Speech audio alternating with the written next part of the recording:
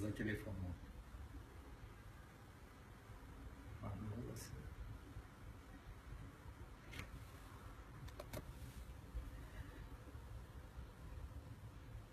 Ну, она, наверное, думала, что в нее стрелять никто не будет.